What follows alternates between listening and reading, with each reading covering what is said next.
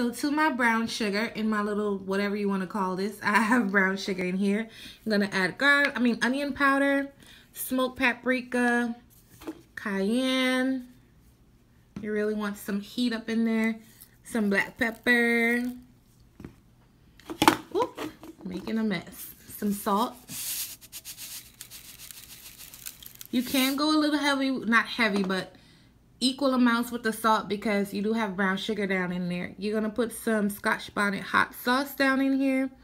Use whatever brand that you prefer. Because of the sugar and the amount of chicken that I'm making, this will not be too hot. I'm also going to use some chili oil just to get it to turn into a paste. And it's going to bring some flavor to your meat.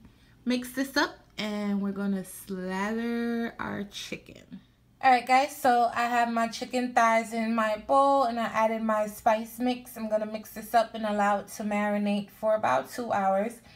And yeah, and pretty much I'm going to bake this off and halfway through I'll add the broccoli to the skillet and continue let it continue cooking. So mix this up and allow it to marinate. Alright guys, so this is what it looks like um, after I rub the seasoning all up in there. And I'm just going to allow it to marinate.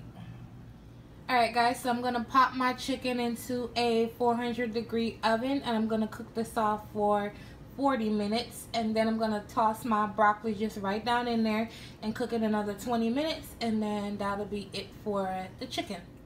Alright guys, so this is what the chicken looks like so far. It looks amazing. It's nice and caramelized because of the brown sugar. Now you're just going to take your broccoli and just, you know, strategically drop it here, there, anywhere.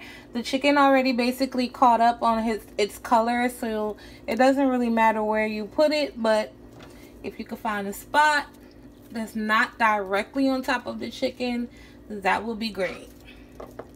And I'm to pop this back in the oven for another 20 minutes so the chicken could completely cook through and the um, broccoli will be nice and tender.